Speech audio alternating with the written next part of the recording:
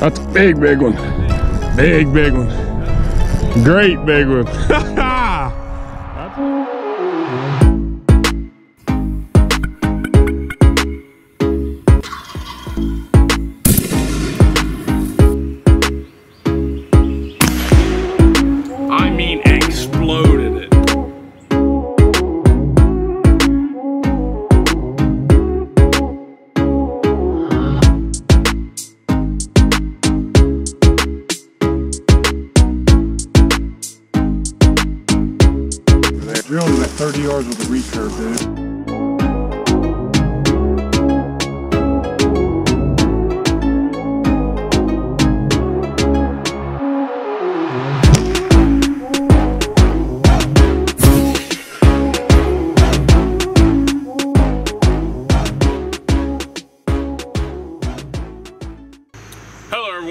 back to the channel. Hopefully y'all can hear me.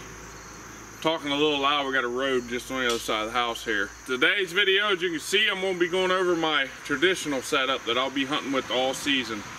Um, as of my compound, I went ahead and got rid of it. I don't plan on picking another one up for a long time. So, I'll be shooting traditional, like I say, for the next couple years. So starting off, first thing is if y'all has never shot traditional or tried traditional bow hunting, maybe you shot traditional equipment, just never took it out bow hunting, just give it one try, man. Take it out there and hunt with it. Once y'all do harvest a deer with one of these, um, the feeling is insane. It, it's, you know, it's just as if every deer you shoot, as it be the same as you shooting like a 200 inch whitetail. You know, it's crazy. That's why I'm over here, uh, uh, uh, uh, uh, uh, you know, can't even talk. But yeah, it's it's every time you shoot one one of these, it's like a 200 inch deer you done shot. But I was shooting four inch turkey feathers. They had four fletchings on them, and uh, throughout the years, I've shot squirrels with them. I killed those two deer last year with them and all that. But from me shooting the squirrels and stuff like that, I tore them all up. So I said, well, I'll go buy a new dozen of arrows. So I ended up going and buying these. These are also 400 spine, but these are three fletch, and they're I think four inches. And they're you know artificial turkey feathers. Um, it says here, you know, 400 spine. It's hard, probably hard to tell. First three years I was bow hunting, I was shooting Muzzy Broadheads, 100 grain. And then last year I switched to G5 just because I could get them to fly a lot straighter than I could a Muzzy. So I started shooting them. I shot both of them deer with them, but I didn't get a pass through on that doe or the buck. Which I understand the buck, he was a far shot. He was 30 some yards when I shot him, so I didn't expect it. But the doe, I kind of expected it. She was only like 16 yards.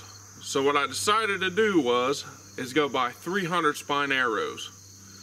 So I bought a dozen of them. Brought them out here, I started shooting down range with them. And these things was just going all over the place. I could not hit consistently with them.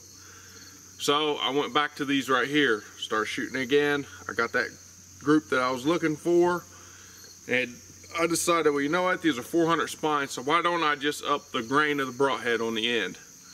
And that should help get a, a pass through. So that's what I did. These are basically, I can't remember the exact name of them. I ordered them a long time ago. But these are pretty much a single bevel broadhead.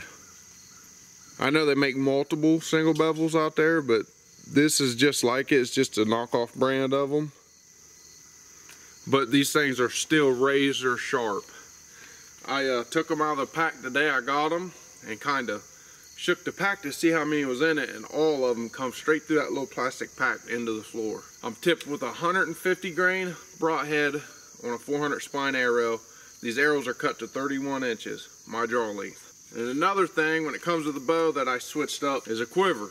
I never used to shoot with a quiver. Y'all remember I used to have a quiver that sat in my backpack. That's how I carried my arrows. This year I went ahead and bought one of these quivers that attaches to the bow. And uh, obviously, I'm telling you, I'll never go back to shooting bare limb bow. I want this thing on my bow at all times. Not only that, it just looks super cool being on the recurve. But y'all can see, there's a it has an Indian on it, and then this, and it has like the little Allen wrenches and stuff, and you can slide it wherever you want it. I kind of keep mine as close to you know the rest as I can. And then for the rest, I used to have duct tape, camouflage duct tape, and I ran it on there since I got the bow four or five years ago. And uh, I shot all the deer and stuff with it with just tape on it. But this year, just to help silence it, I went to some felt. Got a wee little thing here and a felt right here just to keep the arrow a little quiet as it's coming off the bow and it did silence it a little bit. String the only thing i did different this year with my string was i put a nock point. I used to run threading but over time that thing gets warped out and falls and then if it you know i mean you got to redo it and then reburn another piece and redo your riser. So I just saved myself a headache i did this. But as of the silencers me and my cousin put these in a long time ago. These are squirrel tails. And uh, pretty much I think a year after we got the bow, we put them in. They've been in since and they ain't going nowhere. I don't plan on putting anything else on them. I was going to put something on the limbs to help silence my limbs too when I shoot, but I'm just going to leave them bare limb too. Um, I just want it to be as traditional as possible. And also, anyone wondering, this is a Ben Pearson Cougar 7050. They probably don't even make this bow anymore. I'm sure you can try to look it up online. I don't think you'd find it. At 28 inch draw, this thing is 62 pounds. I'm pulling 31 inches draw length, so I'm shooting probably roughly 67 pound draw.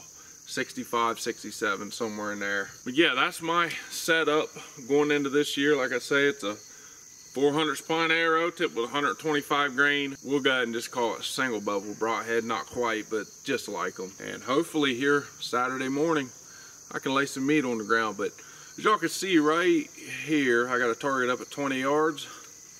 I got a little thing full of arrows. I'm gonna put y'all on there. We're gonna sling them down. I know this ain't the longest video, but like I say, I just hope to get some people out there shooting traditional archery this year and taking theirs out and trying to get them a deer because like I said this it's the best thing you'd ever accomplish. I don't care if you wanted to get a damn house or something and you finally got it and you just feel so ain't no feeling like when you you know get an old stick and string no sights no nothing go out there and harvest a deer. Ain't, ain't a feeling that can come close to it. I don't give a shit. Another thing I almost missed that's super important obviously I'm not shooting bare finger I was shooting a shooter's glove with three fingers I lost it this year. It just so happened that I ordered one of these right here. This is a tab. And uh, I still had it laying around. I had never used it before. So I said, you know what, I'm gonna go use it. I'm still learning it, but I'm telling you right now, I'd highly recommend getting one of these things. Uh, they make many of them. I just picked up a little uh, knockoff brand. I don't have the pack with me to see the name of it, but here's a little image of it. If y'all want to go on Amazon and find it, it's got a little R on it. Stuff like that. I shoot three fingers under with my recurve. So this, I do the same way. It's supposed to, there's a little notch in between that glove. It's supposed to slide right in between your nock and your string. And then you'd be split fingering it. I personally can't shoot split finger. Tried it and tried it, I can't shoot consistent. So I use three underneath, draw, let her fly. Yeah, I almost forgot that part. So yeah, I am using a tab all season. And then look at my little band-aid. The broadhead tried to cut my finger clean in half. I had to go to the ER. I stayed in there for probably 16 days or so. Just couldn't believe it. You know, I thought I was gonna lose my finger. No, just play. no, the broadheads, as I was saying, was scary sharp. As I was pushing them up in there, I was trying to set this little thing and nicked my finger a little bit, but hey, I'll live. That's the only band-aid I have. So we used it, you know what I mean? Back. Back. Ah, it was me. Didn't have my glove all the way on. Hit my arm. Still okay though. That deer. That's a pretty good group. That's a pretty good group. I just got to get used to this little tab thingy, McBob. But that's anyway. That's my uh, 2023 bow setup. Like I say, it's gonna be heading into the woods Saturday. I'm gonna be trying to put one down with it. But hopefully y'all enjoyed the video out there. If y'all did, make sure you hit the thumbs up button. If you haven't already, subscribe. And also, if y'all have any like questions about recommendations on bows and stuff, drop them down in the comment section and uh, I'll be sure to get back with y'all and let y'all know what's good bows and what kind of good arrows and stuff like that you need. I ain't no expert by any means about this stuff. I usually just buy my arrows straight off Amazon. They shoot good, take them out hunting. So this has been Hunting Fish Ohio Outdoors. I'm your host Trey, and we'll see y'all on another episode of uh, Deer Hunting Blues. I got him.